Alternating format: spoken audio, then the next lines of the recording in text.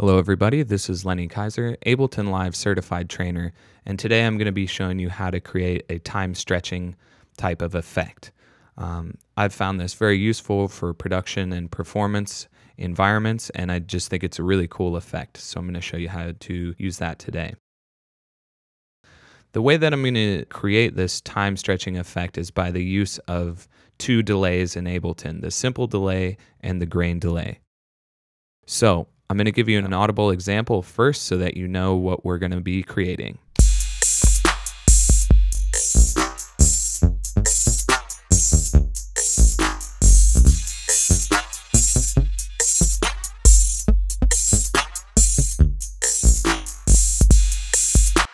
The first step in doing this, I'm going to start from scratch, is to go into audio effects and grab a simple delay here. Now I want to change a couple of parameters on this before moving forward. So I want to link the delay time, so that's linking the left and the right side so that the same effect is going to be happening across the stereo spectrum.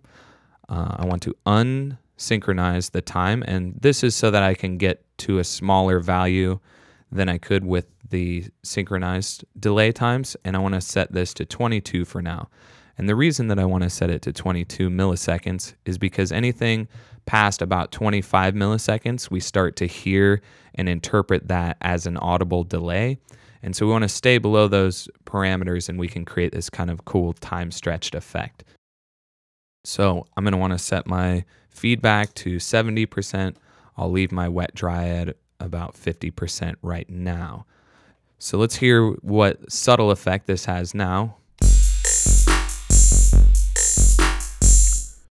So now I want to grab the grain delay and I also want to change a couple parameters on this. So I want to change the frequency to 1 hertz, the pitch to 12, and the dry wet ratio I'm going to start at 0.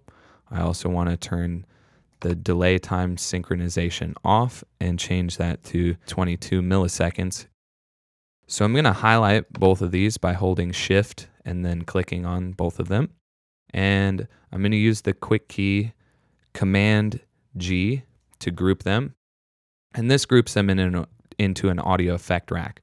And the benefit of that now is if I click the macro knob section, I'll be able to map multiple parameters to one knob. So those parameters that I want to map are going to be things like turning the devices on and off, changing the delay times, and changing the wet and dry ratios. So let's start with linking the device on and off to the macro knobs. So I'm going to right click on the device on and off and say map to macro one. I'm going to do the same for my grain delay here. Uh, I want to link my delay time on the simple delay I also want to map the wet dry value. And again, I'm mapping all these to macro one. And I'm going to map the frequency of the grain delay, the wet dry of the grain delay, and the delay time of the grain delay.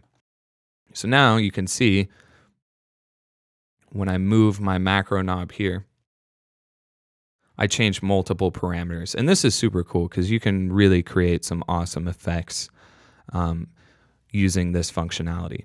So right now, if we listen to our effect,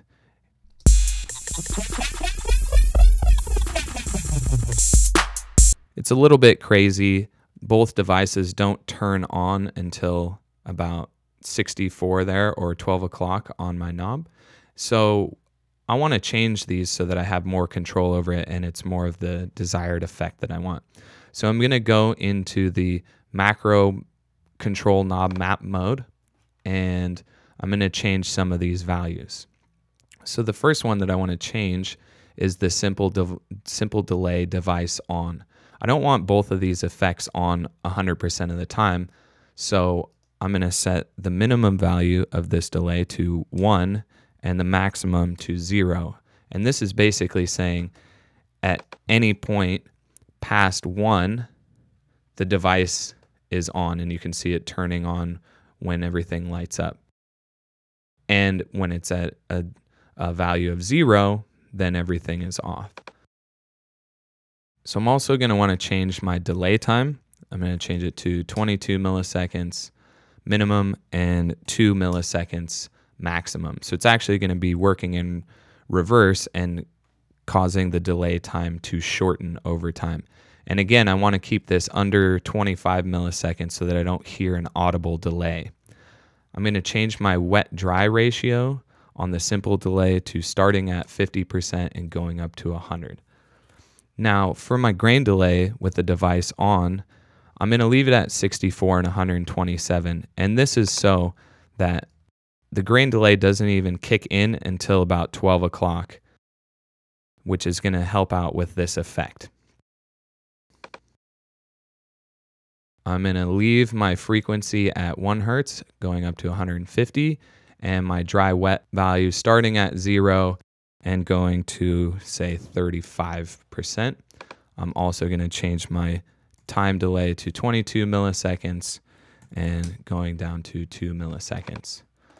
So now let's have a listen to our time stretch effect.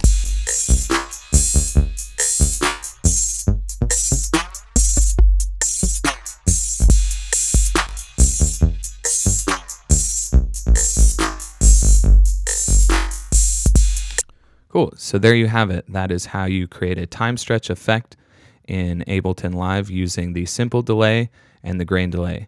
I'm Lenny Kiser, and thanks a lot for tuning in.